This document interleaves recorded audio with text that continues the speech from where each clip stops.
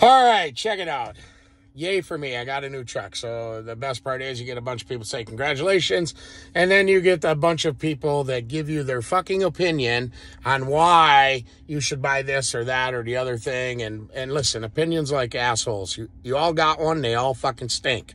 Here is my reasoning on why I settled on the truck I settled on. So I had the 2020 Denali. I bought the 2020 Denali because I had good ground clearance for here up here in North Dakota and get snow and mud and everything else.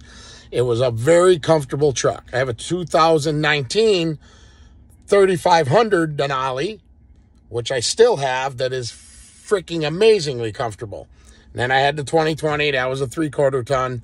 So I was looking, I knew I wanted to get a new truck. I put about 75,000 miles a year on a truck and they idle like a son of a bitch. And I sit in them a long time. I do all my work, all my business is basically done with my ass in the seat of this truck. So comfort is all I care about. I don't give a fuck about the motor. I don't give a fuck about the tranny. If I need to haul something, I own goddamn semi trucks.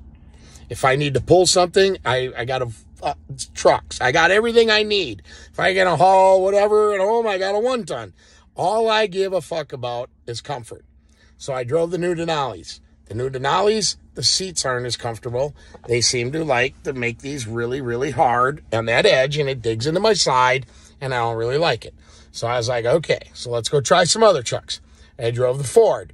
The Ford, the seats were a little more comfortable, but it rode like a fucking buckboard and I didn't want a 15, I didn't want a half ton. I wanted a three quarter ton or bigger.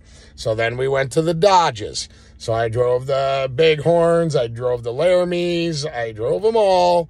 They were all the, the, I, listen, I have a belly and I got a ball sack. So I like to be able to spread my legs when I got into the Laramie, this was it was 20 uh, it was really tight. It didn't have the room to open my legs up like this truck did. So I drove the the Laramie, I drove the Bighorn.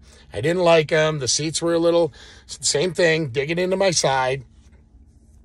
So the sales lady says, "Hey, and I, listen, let's let's go test out this Rocky Ridge uh 1500. I said I didn't want a 1500. She's like, oh, let's go look at it. It's jacked up. It's got a four inch lift kit. So they take a standard Dodge, they send it into uh, Rocky Ridge, Rocky Ridge shacks it up, upgrades the brakes, upgrades the tires, upgrades the seats, puts this diamond stitch seats in it and everything else, and upgrades everything. I got into it. It's fucking amazing.